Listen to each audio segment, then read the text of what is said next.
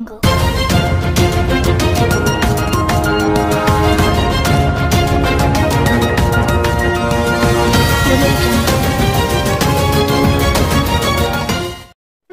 मी सय्यद सफर सोबत आपण पाहत आहात Tejvarta news network and entertainment channel.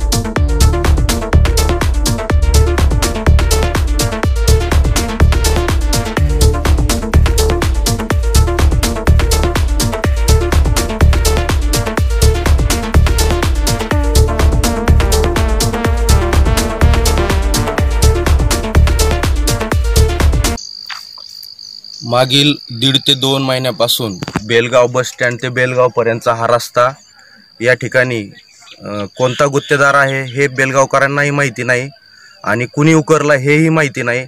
अगदी या रस्त्याचं वाटोळं करून टाकलेलं आहे आणि त्या गुत्तेदाराने आणखी एक गावाकडे एक चक्करसुद्धा मारलेले मारलेली नाही.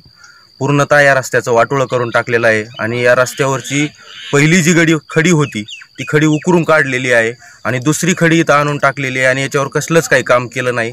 मुरुम या ठिकाणी आपण जर पाहिला तर तो पूर्ण माती मिश्रित मुरुम आहे. आणि या रस्त्यावरील खडी उकरल्या कारणाने या ठिकाणी रोज एक ना एक अपघात होत आहेत. अनेक लोक दवाखान्यामध्ये गेलेले आहेत. कोणाचे पाय फ्रॅक्चर झालेले आहेत. कोणाला अनेक वेगवेगळ्या जखमा झालेल्या आहेत. तसेच रोज कुणाच्या ना कुणाच्या गाडींच्या टायर त्या ठिकाणी पंक्चर होताना पाहायला मिळत आहेत. आणि या ठिकाणी या गुत्तेदारांनी पूर्ण या रस्त्याचं वाटोळं करून ठेवलेलं आहे. आधीचा होता तो चांगला रस्ता होता असं आता आम्हाला म्हणायची वेळ आलेली आहे. हा रस्ता कधी होईल हेही कुणाला सांगता येत नाही. या गावातील कोणत्याच व्यक्तीला किंवा गावकऱ्याला कोणत्याच व्यक्तीला हा गुत्तेदार कोण आहे हेही माहिती नाही. आणि रस्त्याचं नेमकं काय चाललं हेही माहिती नाही. या रस्त्यावर आणखी किती अपघात होतील का लोकांचे जीव जातील आता हे येणारा काळच ठरवेल. त्यामुळं आमची सर्व गावकऱ्यांची नम्र विनंती जो कोणी गुत्तेदार असेल त्याचा लवकरात लवकर संपर्क करून या रस्त्याचं एकतर काहीतरी चांगलं तरी करावं नसता या रस्त्यावर असणारी खडी बाजूला हटवून त्या ठिकाणी आमचा जुना रस्ता होता तसा असावा.